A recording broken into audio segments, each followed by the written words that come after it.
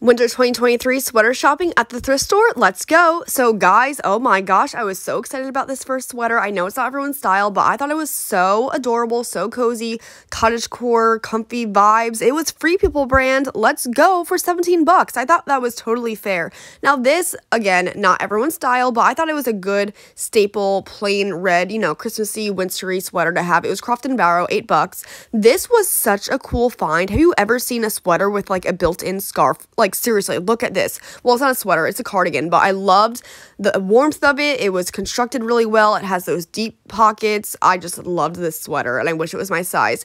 This isn't anything like crazy special, but I really liked it for like lounging around the house. It kind of gave off comfy, earthy, outdoorsy tones, like something I'd wear camping maybe. Um, and it was 10 bucks, so I thought that was decent.